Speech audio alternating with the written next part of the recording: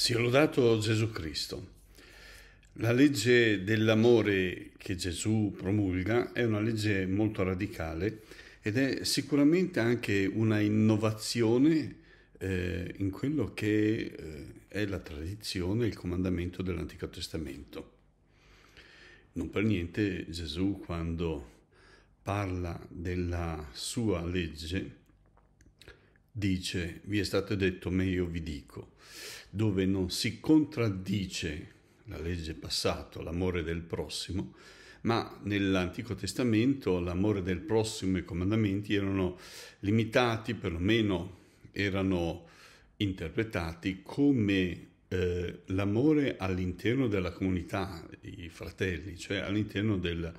popolo di Israele. C'è, sappiamo molto bene, una progressione pedagogica nell'insegnamento e nella rivelazione da parte di Dio con il suo popolo, con eh, delle punte che invece anticipano profeticamente quello che Gesù dirà e farà. Per cui il concetto di amore di Dio e amore del prossimo come fondamento di tutta la legge era già conosciuto. E Gesù quindi non dice in questo nulla di nuovo ma il suo, insegnamento è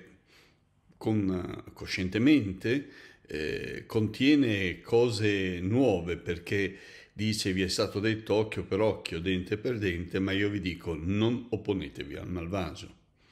porgete l'altra guancia. Vi è stato detto non eh, eh, odierai il tuo fratello, odierai il nemico, ma io vi dico amate i vostri nemici.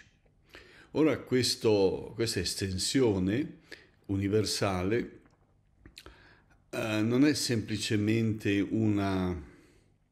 solidarietà generica verso tutti, ma è un superamento della barriera di appartenenza. Barriera di appartenenza che ha segnato e deve, doveva segnare il popolo di Israele, per cui all'interno della comunità, all'interno del popolo, i rapporti devono essere esemplarmente secondo la legge di Dio. E il popolo di Israele si opponeva a quello che era tutto il resto del mondo, noi e gli altri, perché noi abbiamo la legge di Dio, gli altri non ce l'hanno. Noi abbiamo la rivelazione di Dio, gli altri non la possiedono. Per cui noi siamo il suo popolo privilegiato, popolo di sua conquista, popolo che gli ama, popolo infedele ma che continua ad accudire così come una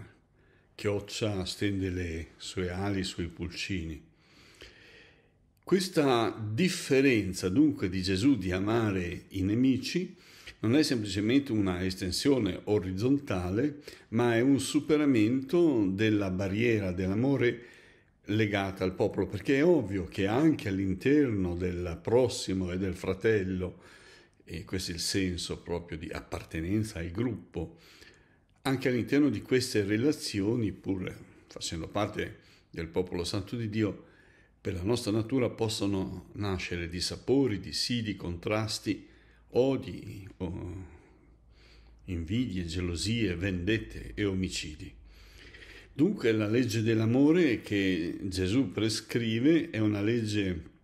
che si attua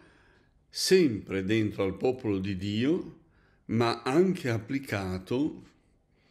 a chi è fuori. Quindi la legge dell'amore è data da Gesù non perché Israele abbia già ottenuto degli ottimi risultati all'interno del popolo, quindi all'interno del popolo di Israele potremmo dire tutto va bene, tutti si amano, in realtà non è così, proprio perché la visione del Cristo è la salvezza della totalità di tutti gli uomini, perché tutti gli uomini appartengono a Dio e la finalità del popolo santo di Israele è quella di santificare tutti i popoli del mondo, quindi far conoscere le realtà divine rivelate a Lui, ma destinate a tutti gli uomini. Dunque la domanda che veniva fatta a Gesù era insidiosa, ma chi è dunque il mio prossimo? Distinguiamo, il mio prossimo è il parente, il mio vicino, o è anche qualcuno che non appartiene al popolo di Dio o che si oppone alla legge di Dio, come ad esempio i samaritani o altri che sembrano essere i nostri ma non lo sono. È come dire, se uno di noi si comporta male diventa qualcosa di diverso del prossimo, perché giustizia vuole che il prossimo non, eh, non si identifichi più con chi si pone fuori dalla legge di Dio. Mentre invece per prossimo il Cristo intende anche coloro che non conoscono o sono contrari alla legge di Dio. E amore eh, non significa che la giustizia viene messa da parte, la giustizia viene riservata da Dio e l'amore del prossimo si esprime con quello che è l'insegnamento, l'avvertimento di quelle che sono le, gli errori, le difficoltà, i peccati del prossimo, ma per amore e non per separazione, vendetta, repulsione. L'amore vuol dire mi interessa il tuo destino di eternità, mi interessa la salvezza della tua anima, della tua persona, mi stai a cuore dunque ti parlo, non ti accuso perché tu non fai parte del mio cuore. Questo tipo di amore è chiaramente un amore spirituale che l'uomo di per sé non possiede se non con quel grande dono che viene dato da Gesù con il dono dello Spirito, il Paraclito, il Consolatore. Dopo la Pentecoste c'è il grande dono di avere in sé la legge dell'amore che vive nel cuore e dunque da sé promana il bene verso gli altri, senza quasi bisogno di avere davanti a sé dei comandamenti per capire che cosa bisogna fare. Il bene dell'altro prevale su ogni cosa. Il bene dell'altro non vuol dire che ciò che fa, se è sbagliato, diventa buono, ma la finalità si pospone con un obiettivo, un orizzonte molto più ampio, educativo, così come si fa